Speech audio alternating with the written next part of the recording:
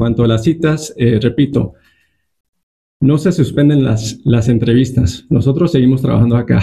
Nosotros vamos a seguir atendiendo al público y la gente que tiene su cita para entrevista los vamos a atender. Lo que se está suspendiendo temporalmente es la programación, es poder hacer una cita. lo del pago, sí, tienen hasta el 29 de agosto para hacer el pago en efectivo. A partir del 30 se suspende el pago en efectivo. Hasta el 13 de septiembre tienen para hacer el pago con tarjeta en línea. Pero las citas ya programadas siguen válidas. Haciendo eh, no resultará directamente en cambios. Es, la tarifa se establece cada cuántos años. Es algo que maneja el Departamento de Estado en Washington, D.C.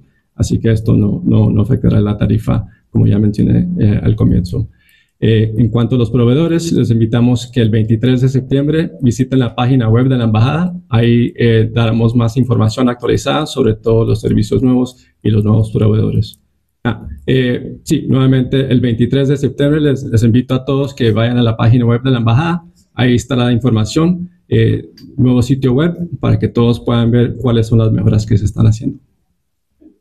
Hoy mismo nada ha cambiado. Entonces, la gente que tiene situaciones de emergencia, situaciones de urgencia para una visa para viajar a Estados Unidos, les pedimos que sigan el mismo proceso que se ha manejado hasta ahora.